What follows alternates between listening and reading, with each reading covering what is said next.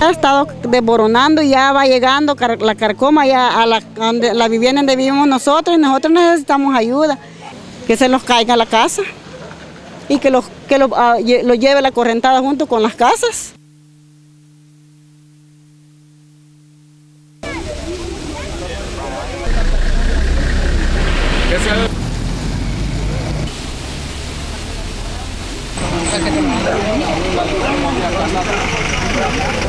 Pero este, ellos por lo menos van a ir a ayudar.